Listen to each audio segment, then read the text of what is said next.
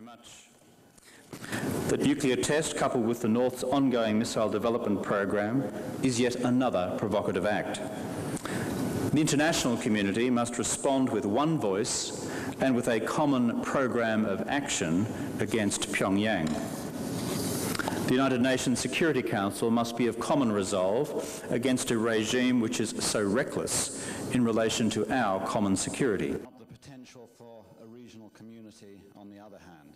Thank you. Regrettably, the conclusion that I've reached is that uh, one of the only effective ways of seizing the attention of uh, the government in Pyongyang uh, is by a harsh range of financial measures of a type which uh, were existed and then lifted at one point.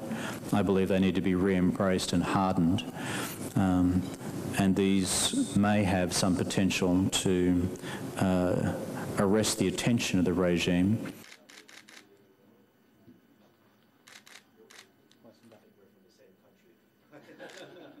왜냐면 내 엉덕자 친구를 안 만나고 그